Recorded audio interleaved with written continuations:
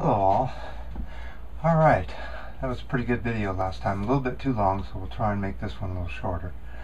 Let's go over to the board.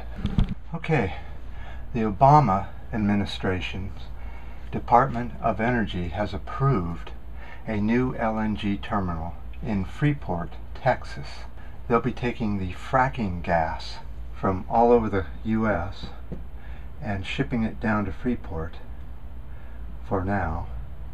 And then they'll be putting them on large ships. Let me show you.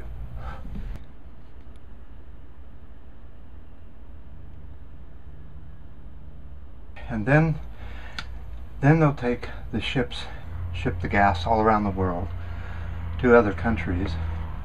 And you may say, well, what's wrong with that? Everybody's making money. Okay, the problem with, with using turning natural gas into liquefied gas, which is LNG stands for, is that you lose 50% of the natural gas you started with in the process of liquefying it. Now think of that.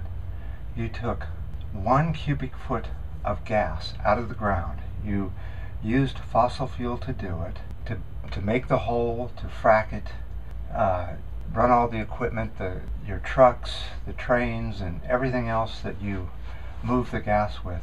You take it to this plant, you use more fossil fuel to turn it into liquid, and during that process you throw 50% of the gas into the atmosphere that we breathe, turning it into more, yes, greenhouse gas. So you're taking all that fossil fuel that we use to make it and turning it into a poison for the planet. Now, I know that, that our governments have science departments, but I, I just don't think they use them anymore. I, I think they're empty rooms with wind blowing through the through the window. It, it, this is real basic. Here's another problem. What would happen when one of those ships explodes in port? How big of an explosion will that be? How many cities will be annihilated? We had a small gas explosion here in South San Francisco.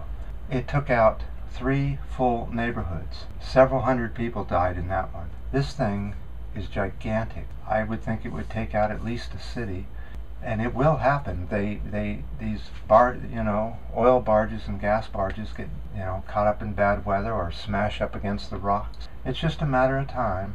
But my question has to be, where is the smart pill? Where's the science? Let me show you some other news that goes along with it. Okay, Paul Craig Roberts. Uh, sometimes we write. Um, he he can be interesting to read.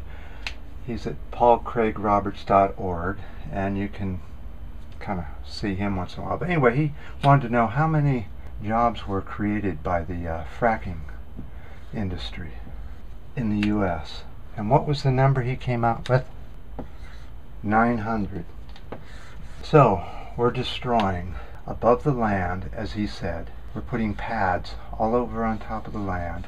So all the trees are being cut down and the, whatever's there is turned into a pad with pipes running and roads being built for the trucks to drive on. And so we're destroying all this area.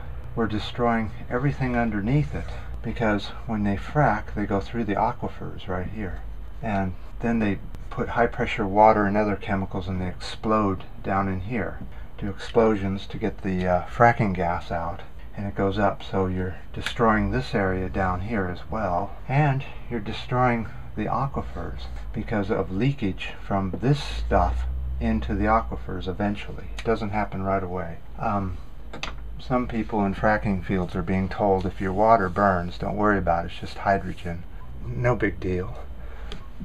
So as Craig says, we're doing all this destruction for 900 jobs. All you'd have to do is open up a factory like a something, some industrial factory here and create far more than that and you and have far less consequences.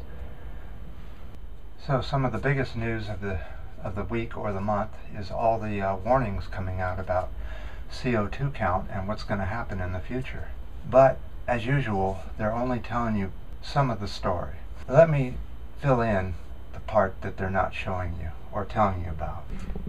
Unfortunately, because of the attention span of most humans, the scientists don't think that parts per million, this is what it looks like, and what it means is you have a, an area and how many molecules of a certain gas there are in that certain area. And they call it something like 400 parts per million of CO2. Our pen is dying. Um, so right now they're saying that the CO2 level is about 400 ppm.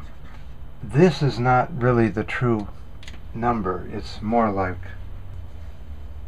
this. And why do I say that it's more at this present time 457? They're only counting CO2. They're not counting methane and all the other gases that are greenhouse gases. They're just not as many. And they think it's too complicated for the sheep. So they're not going to tell you the true number is 457. Water vapor is also a greenhouse gas, just in case you're wondering. Now, see, that wasn't complicated. I mean, greenhouse gas, CO2, water vapor, and methane. Those are the biggest greenhouse gas makers. Methane is a lot shorter lived in the uh, in the atmosphere than other greenhouse gases, so they don't count it because it comes up and then poof is gone. But more methane keeps coming and making more. So the more methane, the more greenhouse gas you get from that. And at present, we're at 457, not 400. So at this time, let's go up to look out and see how many barges are in San Francisco Bay. We have a request to look at a certain type of ship. It's a wood sailing ship. It lays way down in the uh, water with three or four masts. So we'll uh, go up there and see if we can find it. I have never seen it up there yet.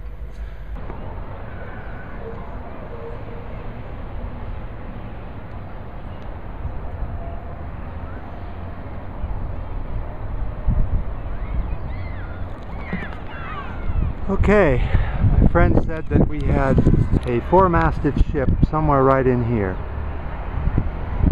And I'm going slowly so that you can see that from this vantage point I do not see anything like that.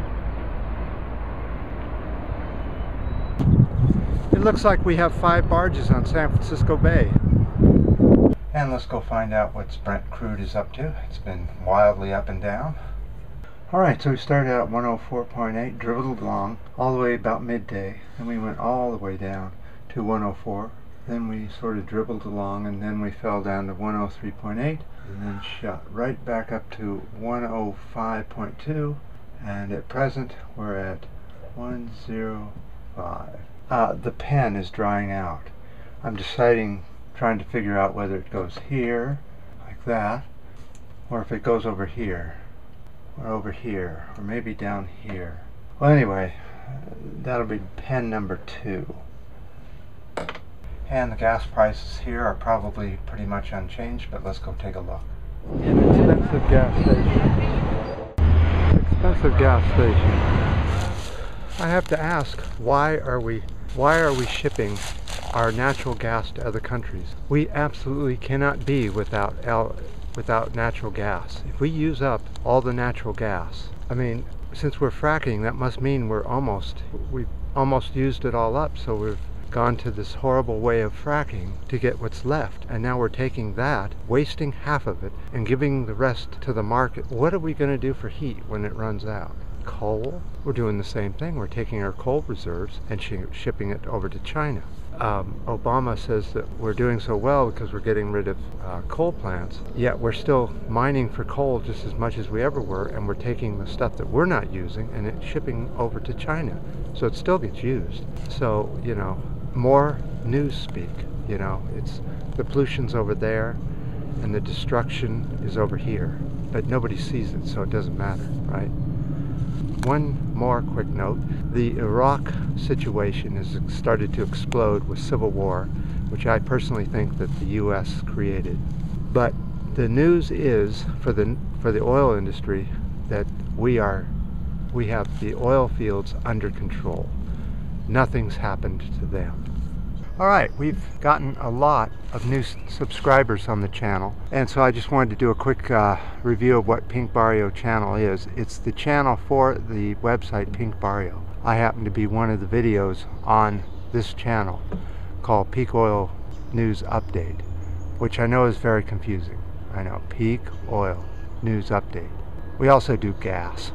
but um, anyway, so you might find other videos on here that have nothing to do with oil. So it's just have to do with Pink, uh, Pink Barrio's website. So I appreciate all the new subscribers and um, leave your comments. We'll see you next time.